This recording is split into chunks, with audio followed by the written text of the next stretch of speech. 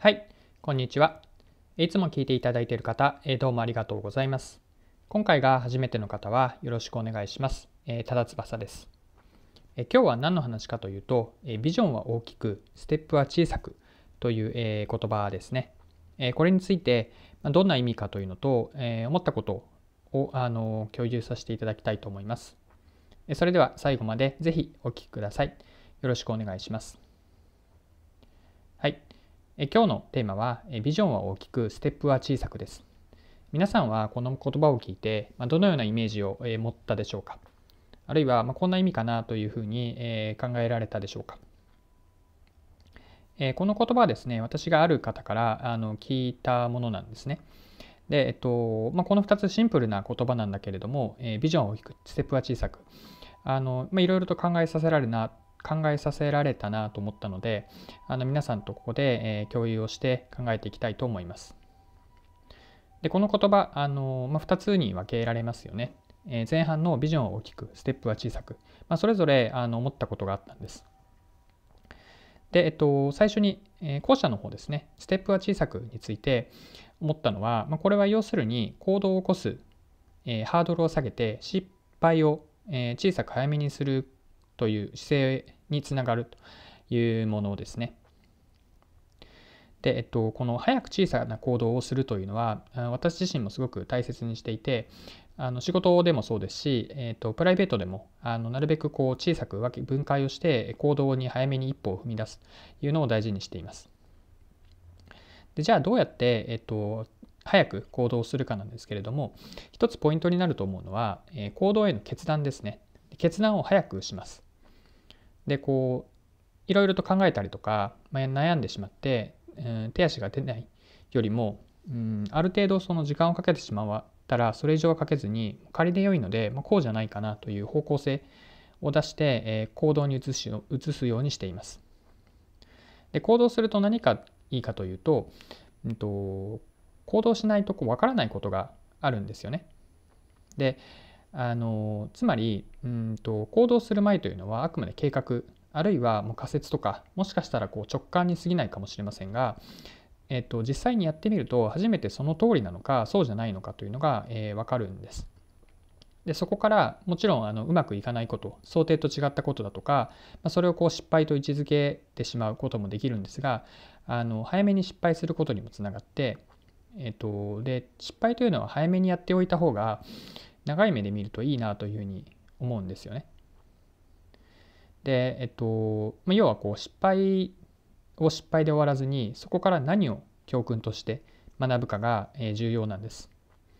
でそのためにはあの早めに行動して、えー、早めに、まあ、小さく失敗をしておけばあの改善点がいろいろ見つかるので、えーと、結果的にこうよりよくあの次やることに活かせるというふうに考えています。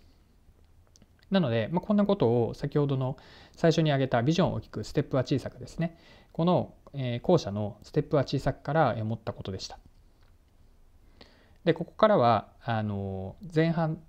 前者の方ですねビジョンを大きくについても掘り下げていきたいと思います。はい。で、えっと、ビジョンを大きくで思ったのはあのさっきのこうステップは小さくのうんと弊害があっってそこをこう打破することにつながるなと思ったことなんです。というのはあのステップは小さくでこう刻んで行動していること自体はあの決して悪いことじゃないんだけれどもあのこう行動を小さく繰り返しているとこうややもするとそればっかりになってこう視野が狭くなると思うんですよね。でそういった時に、うんと、ビジョンを大きくというのを一方のこううん頭の片隅にでもあればあのそのこうバランスをうまく小さすぎず、えー、こう局所的にならないように、えー、立ち戻ることができるのではないかなと思いました。で、えっと、視野が狭くなる以外にも、うんと、他にもあのあると思っていて、うんと、一つは、うん、視点ですね。あの行動を小さく繰り返しているとどんどんどんどんこう視点がともすると、え少なくなる、まあえー、と偏ってしまうこともあるかもしれないですしあとは、えー、と視座がその低くなるんですよね。で視座というのは、うん、どこの立ち位置から高さから見るかで、えっと、これはあの決して悪いことではないんだけれどもこう具体ばかりの視座になってしまう低くなってしまうと、えっと、時としてこう一歩引いて俯瞰して、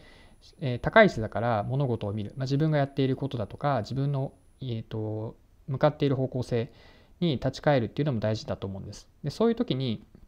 ビジョンを大きくあのビジョンを描いておいて時折そのビジョンに戻って自分はそのビジョンから今どこにいるのかというのを考えられると、えっと、視点がこう増えていきますし、まあ、それだけ時間軸とか空間の視野の広さあとは視座も高くなる、まあ、こういう意味でビジョンは大きくというのは、えっと、ステップは小さくとともに、まあ、両方ビジョンは大きくとステップは小さくの、まあ、両方を持っておくと、えー、いいなというふうに考えました。はい、えー、というわけでそろそろクロージングですえ。今回は